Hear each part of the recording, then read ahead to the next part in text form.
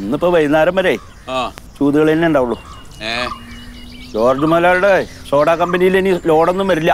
എന്താ അപ്പൊ അതൊന്നും അറിഞ്ഞില്ല. അവിടെ യൂണിയൻകാർ കൂടി സമരം തുടങ്ങി. മുതലാളി പൂട്ടു അത്ര കട. ആ പൂട്ടട്ടേന്ന് ഉം. എന്തിനാ ഇപ്പൊ അതായിട്ട് തുറന്നു വെച്ചോണ്ടിരിക്കണ ഒക്കെ പൂട്ടിയില്ലേ? അല്ല ഈ പാർട്ടിക്കാർ വന്നിട്ട് ഇതൊക്കെ പൂട്ടുക എന്നല്ലേ ഇത് വെട്ടും ചെയ്താ. വെട്ടി. ആ അത് കള്ളക്കളി വന്നിട്ടുണ്ട് എന്നാ പിന്നെ മാത്രല്ല എന്തേലും തുടങ്ങി കഴിഞ്ഞാൽ അത് ആൾക്കാർക്ക് ഉപകാരാവൂലോ? ആ. ആ അപ്പൊ അത് പറ്റില്ല അപ്പൊ പൂട്ടും. ഒക്കെ പൂട്ടി നശിക്കട്ടെ. നിന്റെ അല്ലേ വെട്ടി. ഞാൻ തന്നെ വെട്ടി.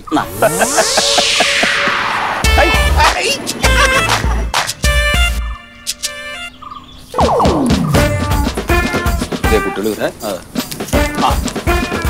എന്തായി ചെയ്തല്ല പത്താം ക്ലാസ് പാസ്സായടാ? ഇല്ല. ഇല്ലേ? റിസൾട്ട് വന്നിട്ടില്ല അച്ഛാ. ആ. ട്യൂഷൻ സാറന്മാര് പരീക്ഷ പോലെ പോയിട്ടുണ്ട് രാത്രി വരുള്ളൂ. ഓ അത് ശരി അപ്പൊ അറിഞ്ഞിട്ടില്ല മന്മത ഈ ജയിക്കോടാ ആ പരീക്ഷയ്ക്ക് അത്യാവശ്യം എഴുതിയിട്ടുണ്ട് ഇത് ജയിച്ച അച്ഛന്റെ വക ഒരു സമ്മാനം ഉണ്ട് അല്ലടാ. അച്ഛനെ കുട്ടി ജയിച്ചാണ്ടല്ലോ. ഒരു നല്ല കള്ളി ഷർട്ട മേടിച്ചു തരുന്നു. നോക്കോ എന്നാ പോയിക്കോ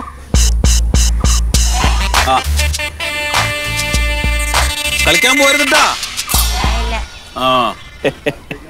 പഠിക്കാൻ ഭയങ്കര മോശാണേ. ജയിച്ചാ രക്ഷപ്പെട്ടു അത്രേ. ജയിക്കും ജയിക്കൊക്കെ ചെയ്യും.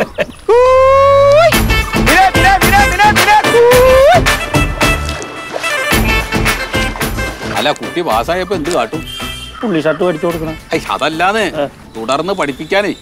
ജയിച്ചിട്ട് വീണ്ടും പഠിക്കണം എന്ന് പറഞ്ഞാൽ ഏതെങ്കിലും ട്യൂട്ടോറിയൽ കോളേജ് കൊണ്ടാ ചേർക്കുന്നു ആ അല്ലാണ്ട് ഗവൺമെന്റ് സ്കൂളിലൊന്നും കിട്ടില്ല. അല്ലേ? ചെയ്യാൻ പോണ?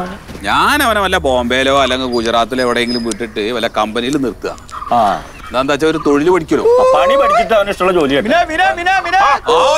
സത്യ. എന്താ കുത്തിരിക്കണ പണിയൊന്നുമില്ലേ? ഇല്ലെന്നേ ഏ? ഇന്നെന്താ കുട്ടികളുടെ പത്താം ക്ലാസ്സിലെ പരീക്ഷയുടെ റിസൾട്ട് വരുവാടോ? അല്ല അതിന് കാത്തിക്കാണോ. അല്ല അപ്പൊ റിസൾട്ട് അറിഞ്ഞ് ജയിച്ചാലേ? ഒരു നല്ലൊരു ഭക്ഷണം കൊടുക്കണ്ടോ? നല്ല അവോലി ഉണ്ട് മേടിച്ചുണ്ടോ ആദ്യം ജയിക്കോ നോക്കട്ടെ. അതിൽ സംശയം ഉണ്ടോ അന്റെ മാന്റെ റിസൾട്ട് അറിഞ്ഞാ? നമ്മളെ മോ ഒമ്പാം ക്ലാസ് തോറ്റല്ലേ ഓൻ അതിനെ ദിവസം പഠിച്ചില്ലല്ലോ. ഓ അത് ശരി. അവൻ കഴിഞ്ഞാലും തോറ്റില്ലോ ഇനി അവനെ പഠിപ്പിക്കില്ലേ പോ ഏടാ ഓൻ അതിനൊന്നും താല്പര്യമില്ലാന്ന്. ഓൻ ഈ പതിനേലൊന്നല്ല വേറെന്തൊക്കെയോ കളിയാണ്. പിന്നെ ഇപ്പൊ നമ്മൾ മീൻകാരന്റെ മോൻ ഐ എസ് ആണെന്നൊക്കെ പറഞ്ഞ് നടക്കണ കാര്യ. അല്ല അവൻ എന്താ താല്പര്യം അതിന് വിട്ടാ മതി അതിന് പിടിക്കുക ഓൻ എങ്ങോട്ടോ അങ്ങോട്ട് തെളിക്കുമ്പോൾ അതാ നമ്മളെ പോളിസി മീൻ വേം വെച്ചിട്ട് കുറച്ചേരം കളിക്കാൻ നമുക്ക്. ഇല്ലല്ല കളിക്കുന്നില്ല കളിയൊക്കെ കളിച്ചോളൂ. എനിക്കുന്നേ ആ ഇന്ന് മോഹൻലാലിന്റെ പടം റിലീസ് ആവണോ അങ്ങോട്ട് അങ്ങോട്ട് പോണോ? എവിടോ യോധ നമ്മുടെ സംഗീതയിൽ? കോതെ യോധ യോധ ആ ഒരു മൊട്ടച്ചക്കന്റെ പടകൾ ആ പടകാളി പൊട്ടിച്ചെങ്കിലി. എങ്ങനെയുണ്ട് എന്ന് പറ. നല്ല ഞാൻ പടം. കണ്ടിട്ട് ഞാൻ പറയാം. വാ. അപ്പൊ പറഞ്ഞു മതി ശരി. ശരി ശരി. ചെക്കൻ ജയിച്ചാലേ. ചെക്കൻ ജയിച്ചാലേ. അവനെയും കൂട്ടിയിട്ടേ യോധ കാണാൻ പോണം. ആ അത് ഇറക്കണ്ടേ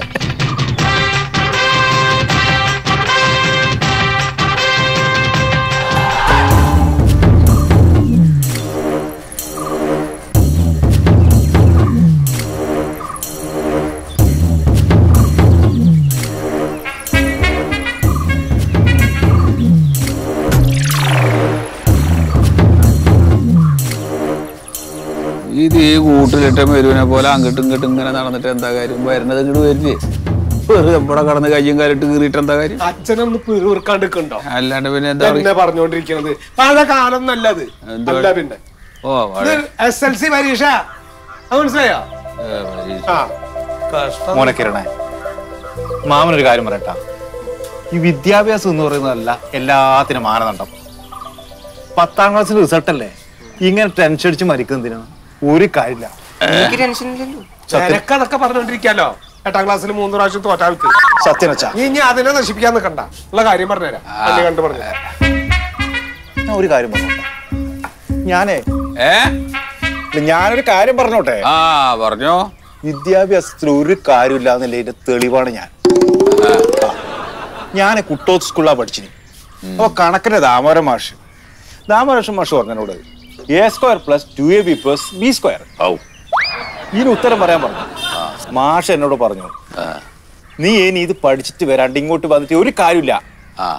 പിന്നെയും തോക്കേണ്ടി വരുന്നു. പിന്നെ ഞാൻ പോയിട്ടാ? സ്കൂളിൽ പോയില്ല. സ്കൂളിൽ പോയില്ല?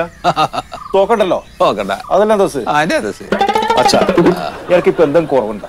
നിനക്കെന്താ കുറവ്? ഒരു കുറവില്ല അയ്യേ. എന്റെ അപ്പുറം പഠിച്ച കുറെ ആളുണ്ട്. ഒരു മാസം പണിയെടുത്തിട്ട് വേണം ആ ശമ്പളം കൊണ്ട് വീട്ടിലേക്ക് വരാൻ വേണ്ടി വരാൻ വേണ്ടിട്ട് ഞാനോ? ഒറ്റ ദിവസം പണിയെടുത്ത് ശമ്പളം എടുത്ത് വീട്ടിലേക്ക് അങ്ങോട്ട് വരും. കൂലിപ്പണിയല്ലേ? ശമ്പളം വരുന്നുണ്ടല്ലോ. അല്ലേ? അതെ അതെ ഈ ചെക്കൻ എന്തിനു ഇങ്ങനെ ടെൻഷൻ അടിക്കുന്നത് ഈ വിദ്യാഭ്യാസം കൊണ്ട് മാത്രം വലിയ കാര്യം നിനക്ക് തോന്നിയിട്ടേ ഇല്ല. മോനെ നീ ഒരു ടെൻഷൻ അടിക്കണ്ടടാ. നിന്ന ഇവനെ ഞാൻ പണിക്കൂട്ടും. എന്തിന്? എന്റെ പരം നീ വെറുതെ ആ ചെക്കനെ തിരിപ്പിക്കാൻ നിൽക്കണ്ട. ഓനൊരു കുഴപ്പമില്ല ഓ മാസം പിന്നെ ഓ. നീ അതൊന്നും പറയും. ആ ചെക്കൻ ഇനി അതൊക്കെ കഴിഞ്ഞിട്ട് ജയിച്ചു കഴിഞ്ഞാൽ ക്ലാസ്സിൽ പോകേണ്ടതാണ്. നമ്മൾ കുറെ ഉപദേശം അല്ല നിന്റെ ഒരു ഉപദേശം വേണ്ട. ഞാൻ ജയിക്കും. എടാ അതിന്റെ അല്ല ഈ പറയണ കുട്ടി ഇത് മാർക്ക് ശരിക്കും എടാ മാർക്ക് ഉണ്ടാവും. പിന്നെ കടന്ന് ചാടാൻ നിക്കണത് എന്തിനാണ്? എന്താ അച്ഛ എങ്ങനെയെങ്കിലും അങ്ങോട്ട് പാസ്സായിട്ട് കാര്യമില്ല? ഫുൾ എ പ്ലസ് കിട്ടണം. ഇല്ലെങ്കിൽ ഒരു നല്ല സ്കൂളിൽ അഡ്മിഷൻ കിട്ടില്ല. ഞാൻ അങ്ങനെ നിന്നെ ടെൻഷൻ അടിപ്പിച്ചിട്ടില്ല കേട്ടോ. ആ കാലല്ലത് അതിൽ ഈ പറയണത്. മത്സരിച്ചാ പഠിക്കണ ഓരോ കുട്ടികൾ. ആ ശരിച്ചു മേടിക്കണം ഓരോ സംഭവങ്ങൾ പറഞ്ഞാലും മനസ്സിലാവില്ല. ഒന്നും ടെൻഷൻ അടിക്കണ്ട ഞാൻ മാമനുണ്ട് കൂടെ. എന്താന്ന് നോക്കിയത്? മാമനും കൂമനും ആ വന്ന് വന്ന് വന്ന് വന്ന്. വന്നോ? വന്നാ ആര് വന്ന്? തോറ്റുവാ. നേരെ നോക്കേ. നേരെ നോക്കേ നേരെ നോക്കേ. തോറ്റു. ഏഴ് എട്ട് ഒമ്പത് പത്ത്. പത്ത് പത്ത്. പത്ത് ജയിച്ചു പത്ത് പ്ലസ് പത്ത് പ്ലസ് പത്ത്? പത്ത് പ്ലസ് ഉണ്ട്. ചുമ്മാ? അളിയാ? അതെ. അളിയാ? കണ്ടാ? അച്ഛാ. ഞാൻ അപ്പഴേ പറഞ്ഞില്ലേ? എടാ ശീതള. എന്താണ്? എന്റെ കുട്ടി ജയിക്കും അറിയാലോ. എന്റെ കുട്ടി ജയിക്കും. ഞാൻ എന്നോട് പറഞ്ഞില്ലേ കുട്ടി ഞാനും ജയിക്കുന്നത് അതല്ല. ആ പിന്നെന്താ? അച്ഛനത് പറഞ്ഞാ മനസ്സിലാവില്ല. ആർക്കായാലും ഒന്നുമില്ല ഒന്നുമില്ല. അണക്കും വെറുതെ കടന്നിട്ട് തീന്നെയാണ്. ഓൻ ജയിക്കുന്നു ഞാൻ പറഞ്ഞില്ലേ? ഓൻ ജയിക്കുന്നു ഞാൻ പറഞ്ഞില്ലേ? ഞാൻ പറഞ്ഞില്ലേ ഞാൻ പറഞ്ഞില്ലേ? ഫുൾ എ പ്ലസ് കിട്ടും ഞാൻ പറഞ്ഞോ? ഇജ്ജ് സീട്ടൊന്നും പറഞ്ഞിട്ടില്ല. പറഞ്ഞിട്ടില്ല ഇജ്ജ്. അച്ഛാ ഞാൻ പറഞ്ഞു കേട്ടോ മന്മഥന്റെ പോലെ എത്ര അപ്പുനോ. ആ നോക്ക്. എത്ര നോക്ക്. ഓൻ തോറ്റിട്ടുണ്ടാവും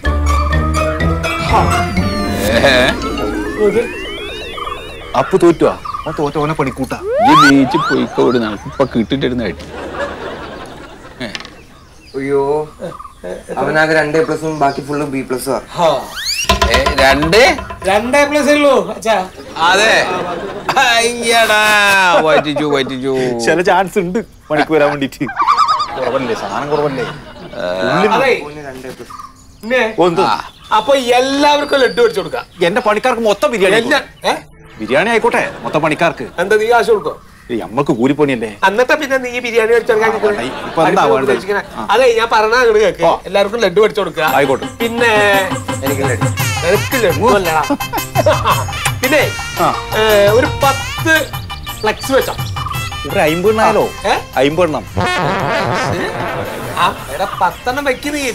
വെക്കാം. കാരണം അത് ഞാൻ ഗൂഗിൾ പേ അയച്ചു തരാടാ നീ അവിടെ ചെന്നിട്ട് പറ ആ ഞാൻ ചെല്ലേ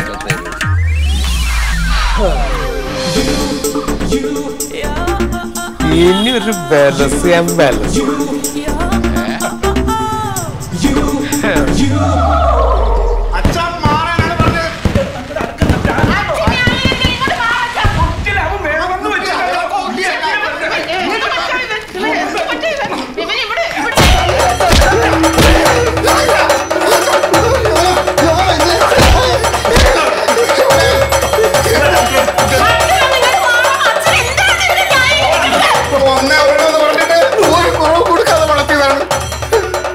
പരമാവധി പഠിച്ചില്ല അമ്മേ.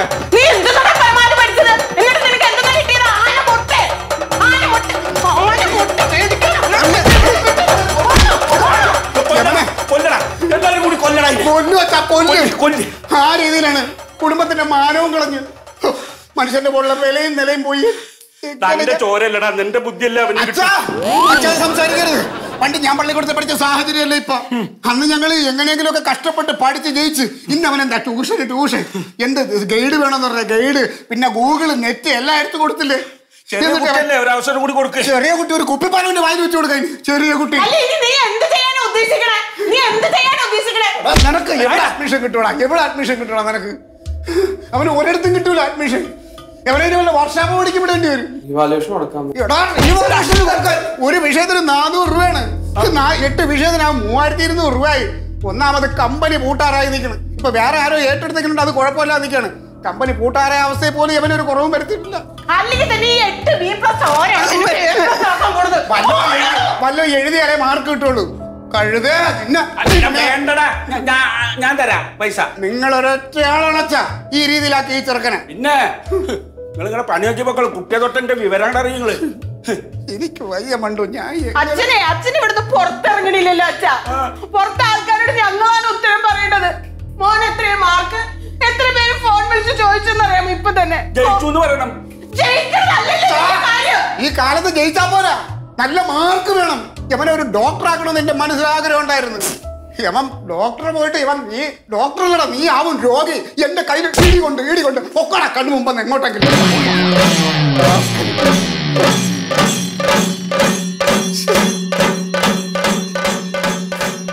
ഒരു കഷ്ടത്തിന് മാത്രം എന്താ ഇവിടെ ഉണ്ടായി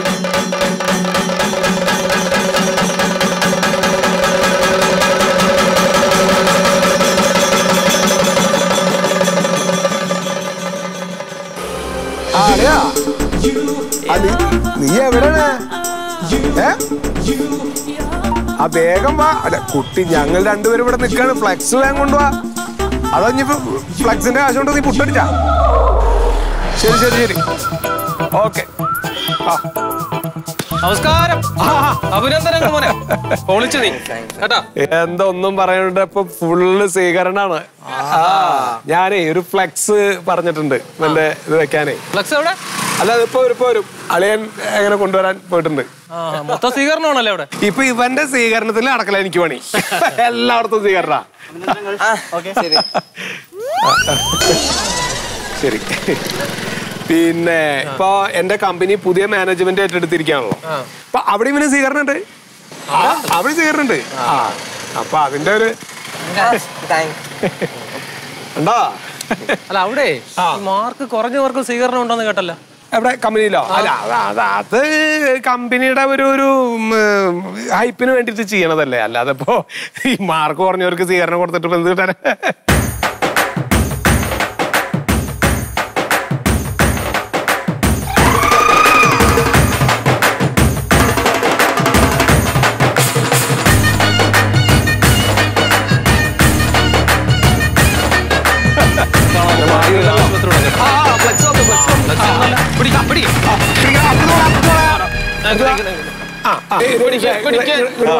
ഇത്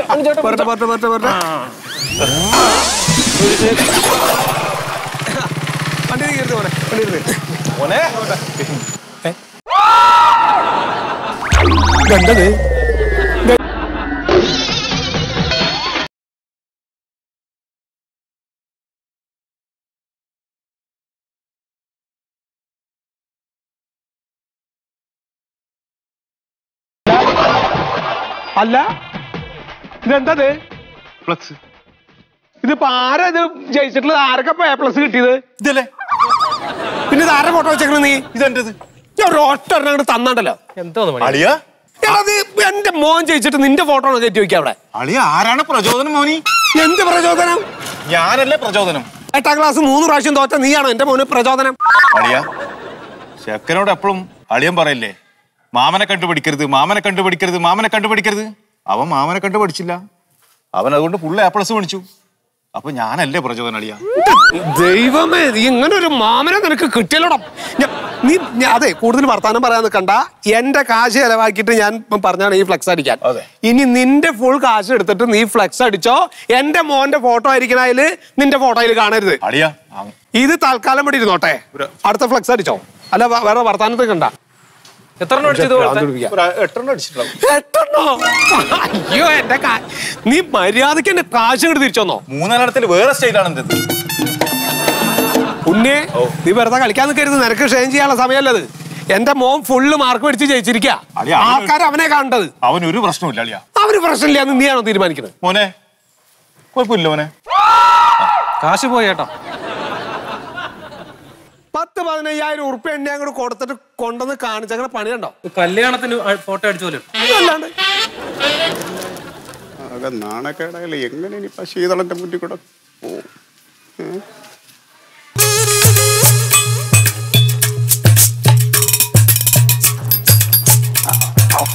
പത്ത് പതിനയ്യായിരം രൂപ എണ്ണ അങ്ങോട്ട് കൊടുത്തിട്ട് കാണിച്ചു വെച്ചേക്കണ പണിയാണിത്. അല്ല ഞാൻ ഉണ്ണിയെ നീ വെറുതെ സംസാരിക്കാൻ നിൽക്കരുത് കേട്ടോ. വാ വാ വാ. വാ വാ വാ ഞാൻ അങ്ങോട്ട് വിളിക്കാം അങ്ങോട്ട് വിളിക്കാം വിളിക്കാം. വാ സംഭവം കാണിച്ചു വാ. ദേ. ആഹാ നോക്ക്. കണ്ടോ? ഉണ്ണിക്ക് എന്ത് പറ്റി? അല്ല, ഉണ്ണിക്കൊന്നും പറ്റിയതല്ല. അതാ അവൻ കാണിച്ചു വെച്ചത്. മോനെ കണ്ടോ? മോന് ഫുള്ള് ഫ്ലെക്സാ എല്ലാവരും വന്ന് അഭിനന്ദിക്കുക. ഒരുപാട് സ്ഥലത്താ സ്വീകരണം. ഇപ്പൊ എത്ര സ്ഥലത്താ ഞാൻ പോണേ? ഇപ്പൊ ഇവന്റെ സ്വീകരണത്തിന് അടക്കാൻ ഞാൻ. മോൻ എന്താ മോനെന്താ മാർക്ക് തീരെ കുറവാന്ന് കേട്ടു? മാർക്ക് അവൻ ജയിച്ചല്ലോ എത്ര എ പ്ലസ് ഉണ്ട്?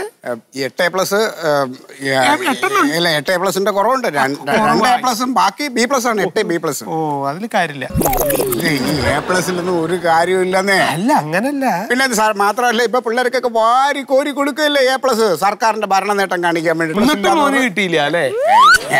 അതേ നോക്കണ്ട. നമ്മൾ അരക്കൊല്ല പരീക്ഷയ്ക്ക് മാർക്കുണ്ടോ അവന്? ഏതാ? അരക്കൊല്ല പരീക്ഷയ്ക്ക് നല്ല മാർക്കായിരുന്നു.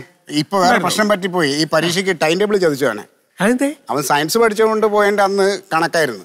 കണക്ക് പഠിച്ചുകൊണ്ട് പോയതിന്റെ അന്ന് മലയാളമായിരുന്നു. മലയാളം പഠിച്ചുകൊണ്ട് പോയതിന്റെ അന്ന് സോഷ്യലായിരുന്നു കോമൺ സെൻസ് ഇല്ല അവന് തീരെ അല്ലേ? അതായത് ടൈം ടേബിളിന്റെ ഇതും കൂടി നോക്കാൻ അറിയാം ഇതൊന്നും അല്ലല്ലോ. നമ്മളെ പഠിച്ചപ്പോ അല്ലേ മാർക്ക് അന്നത്തെ മാർക്കല്ലേ മാർക്ക് ഇപ്പൊ ചുമ്മാ പ്രഹസനമാണ്. പിന്നെ ഏ, മന്മത നമ്മുടെ കമ്പനിയിൽ സ്വീകരണം ഉണ്ട് കേട്ടോ കുട്ടികൾക്ക് അതിപ്പോ മാർക്കൊന്നും നോക്കണ്ട.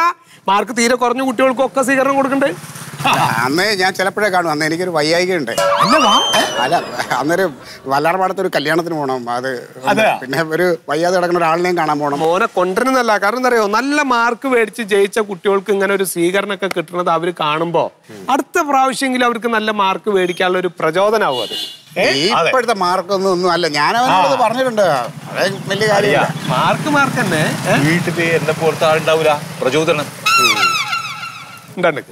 അപ്പൊ എന്നാ ശരി. അപ്പൊ കാണാം. കേട്ടോ മോനെ ഈ എ പ്ലസ് നല്ല മാർക്കൊക്കെ കിട്ടിയാൽ നല്ലതാ. പക്ഷെ എന്ന് വെച്ചാൽ അഹങ്കരിക്കില്ല കേട്ടോ? ആ അങ്ങനൊന്നുമില്ല. അവന് നന്നായി പഠിക്കണല്ലേ വീട്ടിൽ പ്രചോദനം കൊടുക്കാൻ അമ്മാവനൊന്നും ഇല്ലേ? ഉണ്ടായിരുന്നു. ആ. അടിച്ചു വന്നു കുടുംബപരമായിട്ട് വിദ്യാഭ്യാസം ഇല്ല എന്ന് മറ്റുള്ളവരെ അറിയിക്കാൻ വേണ്ടിട്ടാണോ ആണോ? അല്ല. എന്നാ വന്നത് വന്നു. ഇനി മറ്റുള്ളവരെങ്കിലും നല്ല വഴിക്ക് പോട്ടെ. ഫ്ലക്സ് വീട് വെച്ച എല്ലാരും കാണുള്ളൂ നമുക്ക് ഈ കമ്പിക്ക് കെട്ടി തൂക്കിയാലോ? അത് ഈ ഫ്ലക്സ് വേണ്ട. എന്റെ മോന്റെ ഫോട്ടോ വെച്ചിട്ടുള്ള ഫ്ലക്സ് നീ കൊണ്ടുപോവാ കൊണ്ടെന്നില്ലെങ്കിൽ നിന്നെ ഞാൻ കൊല്ലും. അത് ഉറപ്പാ.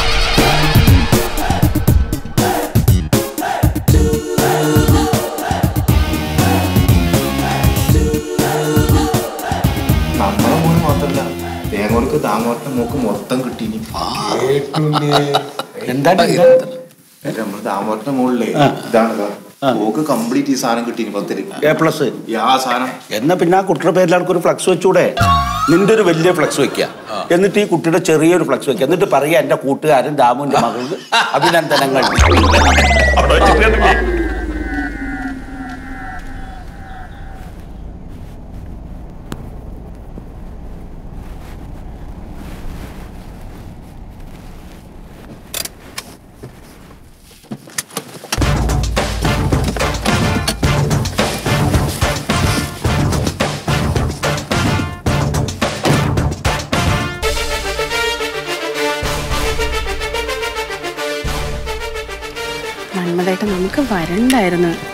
പറഞ്ഞാൽ എങ്ങനെ മണ്ടു? ഇവിടെ കമ്പനിയിൽ നിന്ന് മേളിൽ ഉത്തരവുണ്ട്. എല്ലാവരും ഫംഗ്ഷനിൽ പങ്കെടുക്കണമെന്നുള്ളത് ഒരു കാര്യം ചെയ്യാം. നമുക്ക് പോയിട്ട് മോന് സുഖമില്ല പെട്ടെന്ന് പോകണമെന്ന് പറഞ്ഞിട്ട് ഇറങ്ങാം. വേഗം ഇറങ്ങാം. ആ ഇറങ്ങാം. എനിക്ക് ആ ശീതളന്റെ മുഖം കാണുമ്പോൾ ആലോചിക്കുമ്പോൾ ഒരു ഇതുമില്ല. എല്ലാരും വന്നുണ്ടാവും. വാ എങ്ങനെയും പെട്ടെന്ന് പോയിട്ട് നമുക്ക് വരാം.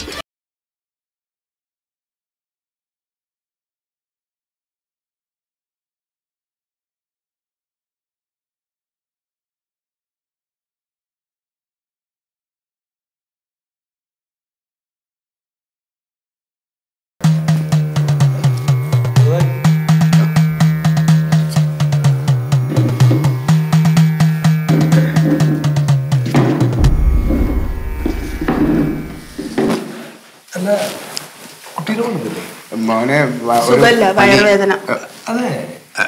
വയറുവേദനയും പനിയും ഛർദ്ദലും ഒക്കെ ഉണ്ട്. അയ്യോ സൂക്ഷിക്കണം. പിള്ളേരുടെ വയറുവേദന തുടങ്ങി? ഈ ഇപ്പൊ കുറച്ചു മുമ്പേ. എന്നിട്ട് ഡോക്ടറെ അടുത്തോട്ടില്ലേ ഞങ്ങൾ കൊണ്ടുപോയിക്കോളാം. അച്ഛൻ ആദ്യം ഇവിടെ എത്തിയില്ലോ. അത് മതി. അല്ലെങ്കിൽ ഞാനും അനക്കറിഞ്ഞൂടെ ഞാനും സത്യനും ഒത്ത കൂട്ടുകാരാന്ന്. അവൻ വിളിച്ചപ്പോ ഞാൻ വയറുവേദന വെച്ചോണ്ടിരിക്കരുത്. കൊണ്ടുപോകണം ആശുപത്രിയിൽ ഞങ്ങൾ പോയിട്ട് കാണിക്കും. ഡോക്ടറെ ഞങ്ങൾ പോയിട്ട് ആശുപത്രി കൊണ്ടുപോകും. അത് കാണിച്ചിട്ട് ഇങ്ങോട്ട് വരേണ്ട ആവശ്യം ഉണ്ടായിരുന്നു എന്നാ. ഇല്ല ഇവിടെ വന്നോട്ട് ഇതൊക്കെ കാണാലോ? ഇത് മാർക്ക് കുറഞ്ഞവർക്കും ഈ ചെറുതുണ്ടേ ചെറിയ ഇതുണ്ട് ചെറുത് കിട്ടും. കൊണ്ടുവരാറുന്നു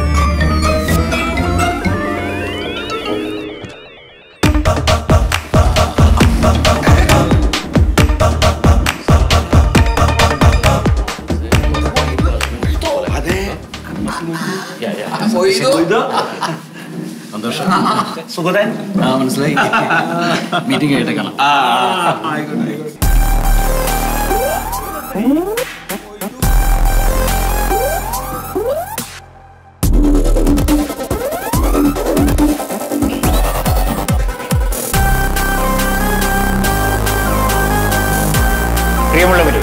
നമുക്ക് ചടങ്ങിലേക്ക് കടക്കാം. നമ്മുടെ കമ്പനി ഇപ്പോൾ ഏറ്റെടുത്തിരിക്കുന്നത് മുഹമ്മദ് പ്യാരി സാറാണ്. അദ്ദേഹമാണ് നമ്മുടെ കമ്പനിയുടെ മാനേജിംഗ് ഡയറക്ടർ. അദ്ദേഹത്തിനെ ഞാൻ ഈ വേദിയിലേക്ക് സ്വാഗതം ചെയ്യും. അതുപോലെ അദ്ദേഹത്തിന്റെ വാപ്പ മൊയ്തു സാഹേബ്. അദ്ദേഹ അദ്ദേഹത്തെയും ഞാൻ ഈ വേദിയിലേക്ക് സ്വാഗതം ചെയ്യും. അതുപോലെ ഇവിടെ വന്നിട്ടുള്ള എസ് എസ് എൽ സി പരീക്ഷയിൽ ഉന്നത വിജയം നേടിയവരെയും നേടാത്തവരെയും അത് അവരുടെ രക്ഷിതാക്കളെയും ഈ ചടങ്ങിലേക്ക് ഞാൻ ഹാർദവമായി സ്വാഗതം ചെയ്യുന്നു. അതുകൊണ്ട് നമ്മുടെ പുതിയ എം ടി നിങ്ങളോട് കൂടുതൽ കാര്യങ്ങൾ സംസാരിക്കുന്നതായിരിക്കും. അദ്ദേഹത്തിനെ ഞാൻ അതിനായി ക്ഷണിച്ചു.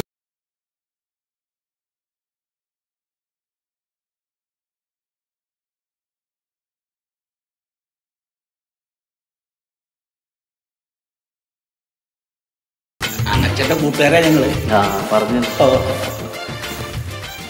ബഹുമാന്യരെ പ്രിയമുള്ളവരെ എന്റെ പേര് മുഹമ്മദ് പ്യാരി. ഞാൻ നിങ്ങൾക്ക് സുപരിചിതനല്ലെങ്കിലും എന്റെ വാപ്പ മത്തി മൊയ്തുവിനെ നിങ്ങൾ അറിയാതിരിക്കില്ല. നിങ്ങളുടെ വീട്ടുമുറ്റത്ത് തലച്ചുമടായി മത്സ്യക്കച്ചവടം നടത്തിയിരുന്ന മൊയ്തുവിന്റെ മകനാണ് ഞാൻ പ്യാരി. ഞങ്ങൾ കുറേ വർഷങ്ങളായി ബിസിനസ്സും താമസവുമൊക്കെ ഷാർജയിലാണ്. ഞാൻ ചെറിയൊരു ബിസിനസ്സിലൂടെ തുടങ്ങി.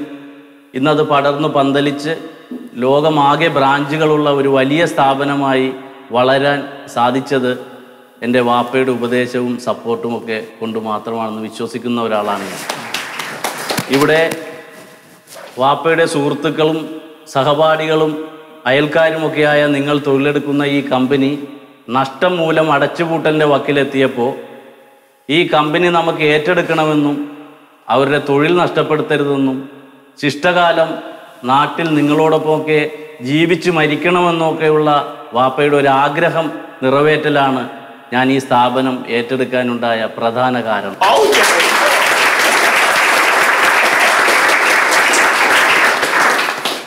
നമ്മൾ ഇന്ന് ഇവിടെ പ്രോഗ്രാം നടത്തുന്നത് നമ്മുടെ മക്കളിൽ എസ് എസ് എൽ സിക്ക് ഉന്നത വിജയം നേടിയ വിദ്യാർത്ഥികളെ ആദരിക്കുന്നതിനും അതുപോലെ തന്നെ തോൽവി സംഭവിച്ചവരെയും നമ്മൾ ഈ ചടങ്ങിൽ ആദരിക്കുകയാണ് ഒരുപോലെ. അതിന്റെ കാരണം വിജയം ആരുടെയെങ്കിലും ജന്മാവകാശമോ പരാജയം ആരുടെയും വിധിയുമല്ല.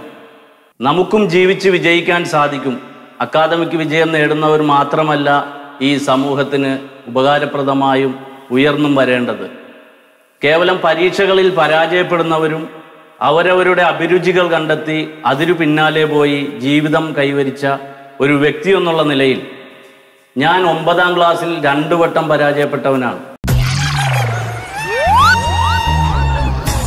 എന്റെ കൂടെ പഠിച്ച കാലത്ത് ഡിസ്റ്റിങ്ഷൻ നേടിയവരും റാങ്ക് നേടിയവരും എം ബി എക്കാരുമൊക്കെ ഇന്ന് എന്റെ സ്ഥാപനങ്ങളിലെ തൊഴിലാളികളാണ്. ഈ നിൽക്കുന്ന ബിജുവും റാഫിയും ഒക്കെ എന്റെ സ്റ്റാഫായി ജോലി ചെയ്യുന്നു. ഞാൻ ചെറുപ്പത്തിലെ ഒമ്പതാം ക്ലാസ്സിൽ തോറ്റ് നിൽക്കുന്ന സമയത്ത് ചെറിയ ചെറിയ ബിസിനസ്സും കച്ചവട ആശയങ്ങളും ഒക്കെ പറയുമ്പോൾ എന്റെ സഹപാഠികളും സമൂഹവും അയൽവക്കക്കാരും ഒക്കെ എന്നെ നിരുത്സാഹപ്പെടുത്തുമായിരുന്നു. കാരണം എഴുതാനും വായിക്കാനും അറിയാത്ത നിനക്കെന്ത് ബിസിനസ് നിനക്കെങ്ങനെ രക്ഷപ്പെടാൻ കഴിയും? നീ വാപ്പാടെ കൂടെ മീൻ ചുമക്കാൻ പോകുന്നതാണ് നല്ലത് എന്നൊക്കെ പറഞ്ഞ് എന്നെ പരിഹസിച്ചവരുണ്ട്. പക്ഷേ അന്നൊന്നും എന്റെ വാപ്പ എന്നെ മാറ്റി നിർത്തിയില്ല. എന്റെ ആശയങ്ങളും എന്റെ ആഗ്രഹങ്ങൾക്കുമൊക്കെ പിന്തുണ തരികയും എന്നെ പ്രോത്സാഹിപ്പിക്കുകയും ചെറിയൊരു മുതൽ മുടക്കിൽ എന്നെ വിദേശത്ത് അയക്കുവാനും ഒക്കെ ശ്രമിച്ച വാപ്പയാണ് എന്റെ ഈ വിജയത്തിന് പിന്നിൽ. ഇന്ന് മാതാപിതാക്കളോട് എനിക്കൊരു കാര്യം സൂചിപ്പിക്കാനുള്ളത്. മക്കൾക്ക് മാർക്ക് കുറഞ്ഞതിന്റെ പേരിൽ അവരെ ശിക്ഷിക്കാതെ അവരെ മാറ്റി നിർത്താതെ അവരുടെ അഭിരുചിക്കനുസരിച്ച് പ്രോത്സാഹിപ്പിച്ച് ജീവിത വിജയം നേടാനുള്ള ഒരു സപ്പോർട്ടാണ് നമ്മൾ അവർക്ക് നൽകേണ്ടത്. ഞാൻ ഈ ചടങ്ങ് സംഘടിപ്പിച്ചപ്പോൾ തന്നെ ഞാൻ രാഘവേട്ടനോട് പ്രത്യേകം പറയുകയുണ്ടായി വിജയിച്ചവരെ മാത്രമല്ല നമുക്ക് വേണ്ടത്. പരാജയപ്പെട്ടവരും മാർക്ക് കുറഞ്ഞവരും ഒക്കെ നമ്മുടെ ഈ വേദിയിൽ വേണം എന്നുള്ളത്. വിജയിച്ചവരെ ഞാൻ ഹൃദയപൂർവം അഭിനന്ദിക്കുന്നു അനുമോദിക്കുന്നു. അതുപോലെ തന്നെ പരാജയപ്പെട്ടവരെയും ഞാൻ അനുമോദിക്കുന്നു. കാരണം വിജയം ഒന്നിന്റെയും തുടക്കമോ പരാജയം ഒന്നിന്റെ അവസാനമോ അല്ല. ഫുൾ എ പ്ലസ് കിട്ടിയ വിദ്യാർത്ഥികളുടെ മാത്രം ഫ്ലെക്സ് വെച്ചുകൊണ്ട് അവരെ ഉയർത്തിക്കാട്ടി മാർക്ക് കുറഞ്ഞവരെയും ബി പ്ലസ് കിട്ടിയവരെയും ഒക്കെ അവഗണിച്ചുകൊണ്ടുള്ള ഒരു അനുമോദനങ്ങളാണ് നാം കണ്ടുവരാറ്. അപ്പോൾ ഉന്നത വിജയം നേടിയ വിദ്യാർത്ഥികൾക്ക് കൊടുക്കുന്ന അനുമോദനത്തിനോടൊപ്പം ബി പ്ലസ് നേടിയവരുടെ ഒരു മാനസിക വേദന നമുക്ക് തിരിച്ചറിയാൻ കഴിയുന്നില്ല. ഫുൾ എ പ്ലസ് കിട്ടിയവരെ മാത്രം അനുമോദിക്കുകയും ഗ്രേഡ് കുറഞ്ഞവരെ നമ്മൾ തഴയപ്പെടുകയും ചെയ്യുമ്പോൾ കാലം കഴിയുമ്പോൾ ഈ ഗ്രേഡ് കുറഞ്ഞവർ ജീവിത വിജയം നേടുമ്പോൾ അപഹാസ്യരാവുന്നത് നാം ഓരോരുത്തരും തന്നെയായിരിക്കും. ആ കാര്യത്തിൽ തർക്കമില്ല.